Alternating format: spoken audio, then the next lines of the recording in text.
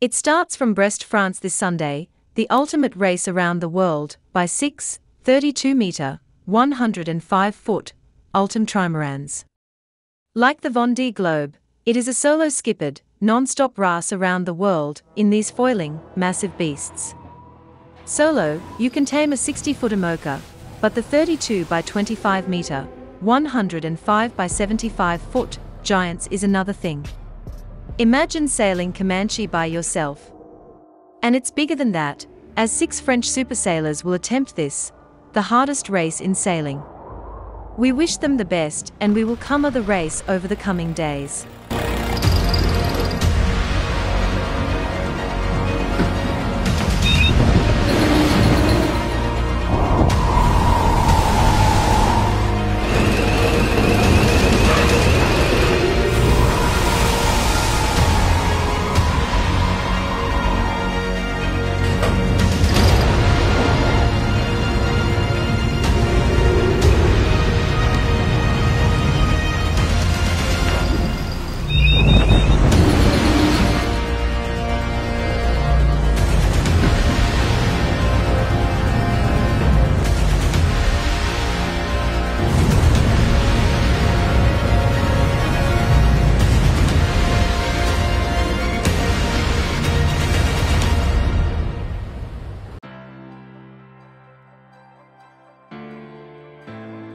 This is your weekly global sailing highlights show, The World on Water, for January 5th, 2024. Welcome to our 14th year of producing these weekly programs. Five of the six trimarans are in the starting base in Brest, and the missing yacht, SVR Lazartigue, is busy with late boat work and was put back in the water yesterday, and is on its way to join the rest of the fleet for Sunday's start. À partir d'ici. on a vu tout à l'heure. C'est la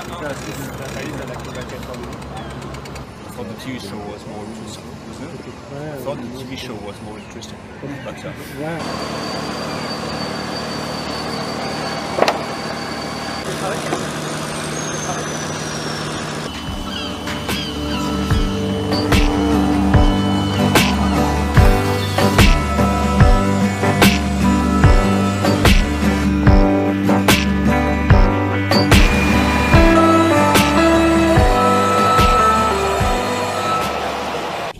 Soir, c'était pas déconnant quoi. Comme planning, c'était presque jouable, j'étais limite optimiste. Ce matin, euh, je te dis, on se prend une semaine dans la gueule. Après, enfin, tu vois, le call de lundi, ça a été clair, c'est on attaque. Voilà. Donc, euh, avec on attaque, avec toutes les incertitudes que l'on a. C'est pas une petite réparation. Donc euh, c'est voilà, c'est en somme toute c'est pas très compliqué, mais c'est des grosses pièces à venir assembler, à venir coller. Euh, Il y a beaucoup de kilos et beaucoup de mètres carrés de carbone à mettre, donc c'est du temps. C'est forcément du temps qui est très peu compressible si on veut pouvoir quand même faire une réparation structurelle. Ça reste le bras avant qui est une des pièces les plus chargées du bateau, donc il faut pas faire n'importe quoi.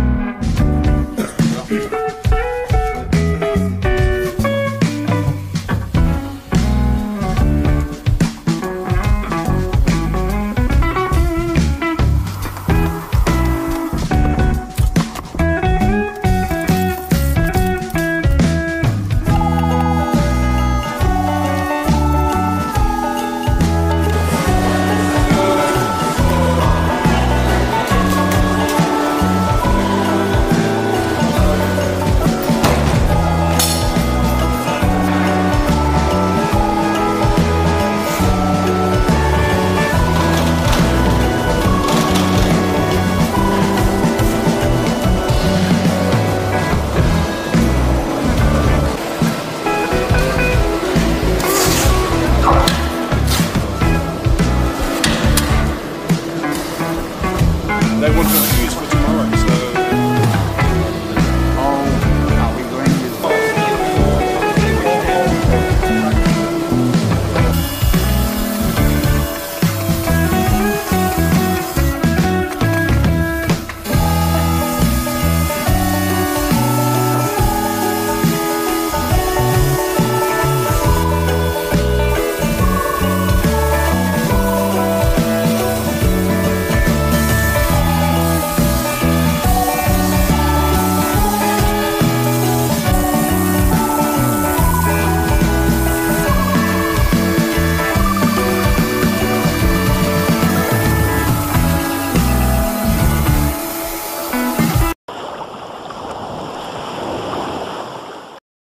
2023 Melbourne to Hobart Yacht Race started in sunny conditions on Port Phillip Bay, with competitors set for a quick race to Hobart.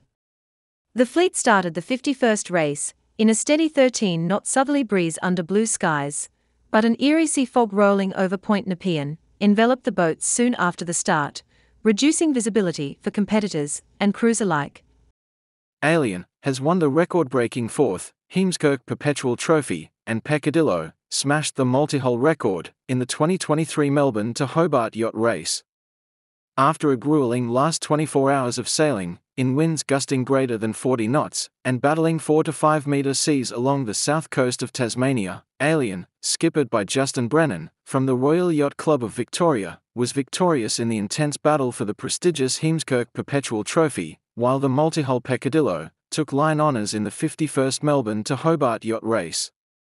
Justin Brennan and his seasoned ocean racing crew flew under the radar for the first part of the race but positioned themselves well for the final run home to Hobart to win the coveted Heemskirk Perpetual Trophy, for the overall winner determined on AMS handicap.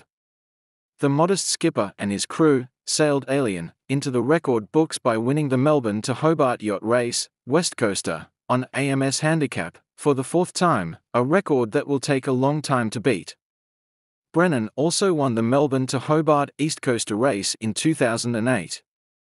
The battle for AMS honours was on in earnest on the second day of sailing, with Ryujin, skippered by Alex Toomey, last year's runner up Jinan, skippered by Nigel Jones and Cam Mackenzie, and Lord Jiminy, skippered by Jimmy Oosterwegel, primed for a three way battle for the AMS win, but three time winner Alien picked up speed overnight and had a great race into Hobart.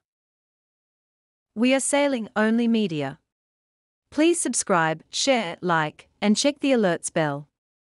Euh, je m'appelle Marie-Morgane Ledin, et, euh, je suis cycliste professionnelle dans la formation Arc Airbnb Hotel. Une première découverte et c'est vrai que ça nous change un peu de, ce qu'on voit habituellement au bord de route, donc non, très sympa d'être là. La caractéristique de leur bateau, c'est que bah, comme nous, je pense que c'est optimisé, que ce soit le poids et l'aérodynamisme, donc euh, ça se rapproche et euh, c'est vrai que ça fait un peu la beauté du sport.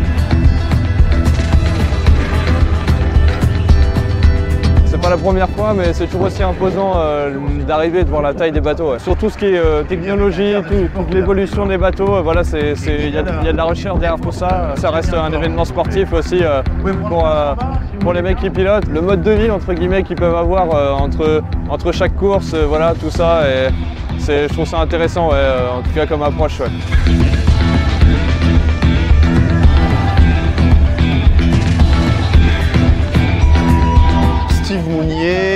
Attaquant international béninois, attaquant du stade brestois depuis 2020. C'est la première fois et je suis vraiment impressionné. Je voyais ça à la télé et je n'imaginais pas qu'ils étaient aussi grands. S'imaginer qu'il y a des hommes en solitaire qui manœuvrent de tels engins, je trouve ça exceptionnel. Pour faire ce sport, la voile, et faire des tours du monde ou bien des, des traversées, il faut avoir un mental vraiment d'acier. Et dans le foot, c'est assez pareil. On a besoin aussi d'un d'un gros mental pour pouvoir surmonter euh, tout ce qui se passe dans notre carrière. Et secrètement, dans ma tête, euh, je rêverais bien de faire un tour du monde aussi en bateau un jour.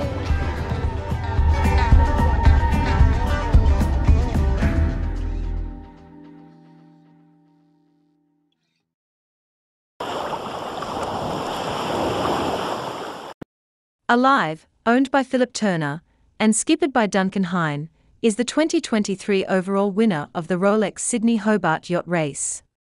The Reichel Pugh 66 arrived in Hobart on the 28th of December at 3:19 and 4 seconds p.m. to become only the second Tasmanian boat to have their name inscribed on the legendary Tattersall Cup, not once, but twice. Focus, tenacity, and well honed intuition determined the overall winner of the 78th Rolex Sydney Hobart Yacht Race. 103 boats faced the renowned 628 nautical mile quest, but only one would etch its name on the prestigious Tattersall Cup, every competitive sailor's dream. The Tattersalls Cup is very hard to win because so much has to come together. It's very hard because it's on handicap, which means you really have to have a boat capable of competing with the big boats. It's earned a reputation because it is such a difficult and amazing race. At 10am local time, Tasmanian boat Alive, skippered by Duncan Hine, was awarded the coveted Tattersall Cup for the fastest boat on corrected time.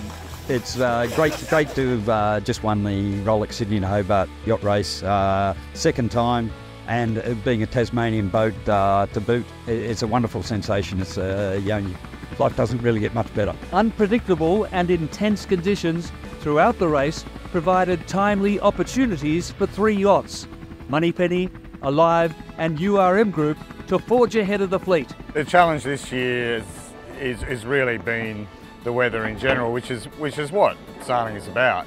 One of the hardest things about this year was knowing what was going to happen because we've had a lot of unsettled weather on the eastern seaboard. I always knew that we needed to be south of the other competitors.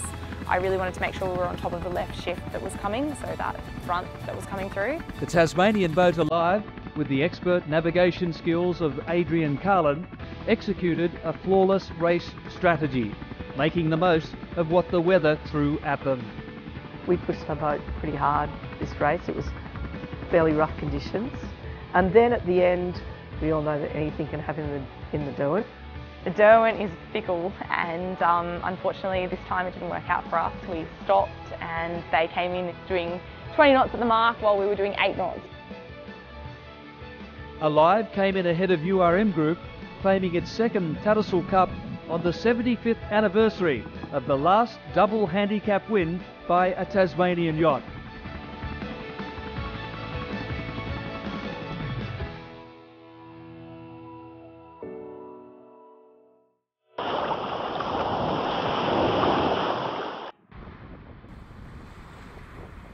Last week was a very busy week on the Swan River Perth. And the crew at Ironbark Photos were working overtime filming all the regattas. Here is a sample of their work. It was the invitation race for the 2023 Mirror Nationals, being hosted by the Royal Freshwater Bay Yacht Club. The brisk sea breeze got the mirrors onto the plane, making for very enjoyable racing.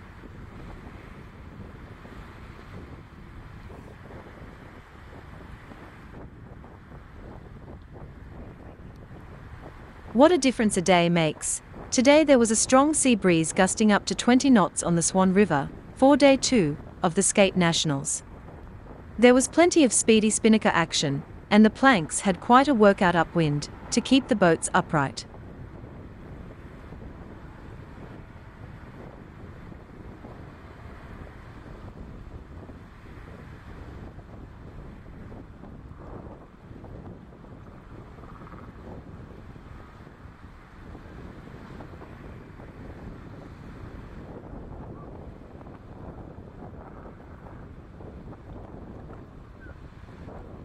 Day 1 race, one of the Cherub Nationals, was sailed on the Swan River Perth.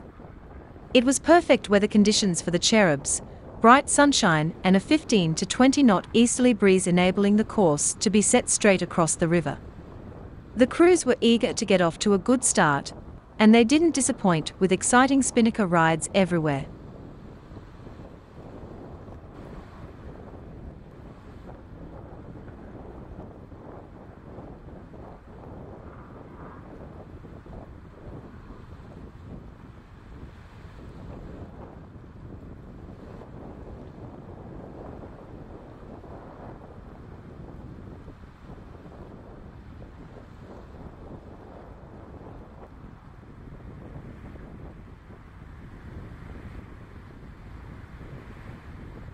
The world's best lightweight men windsurfer LT riders raced off against each other over the short slalom course, set right in front of the South of Perth Yacht Club. There was furious action, with a big crowd watching on the shore.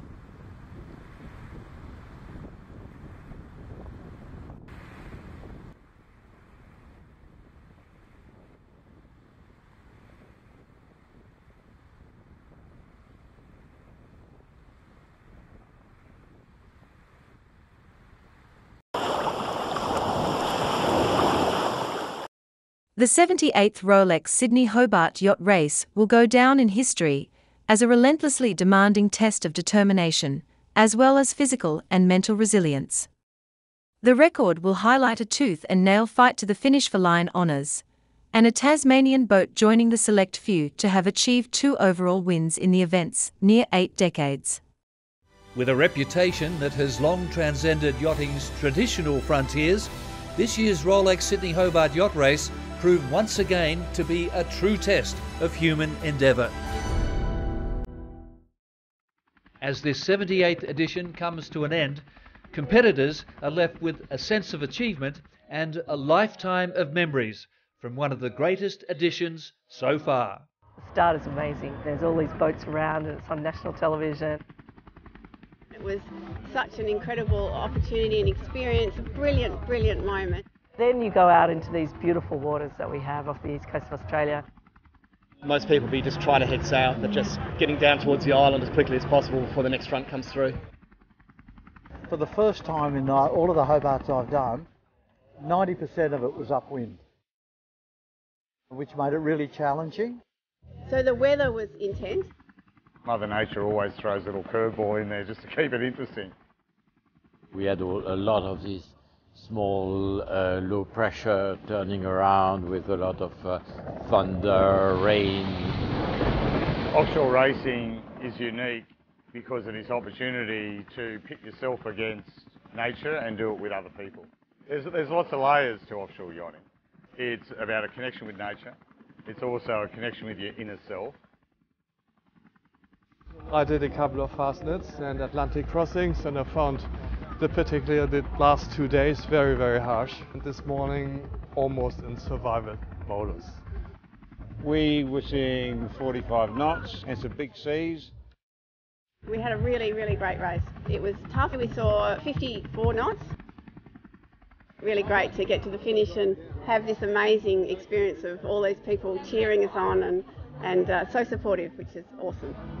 For many of the 103 yachts that started the race, crossing the finish line in Hobart is an exceptional achievement in itself.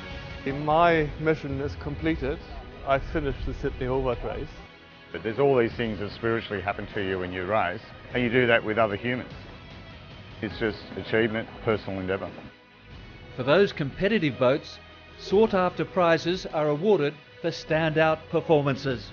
And most importantly, the Tattersall Cup, awarded to the race's overall winner. This year presented to Tasmanian boat Alive.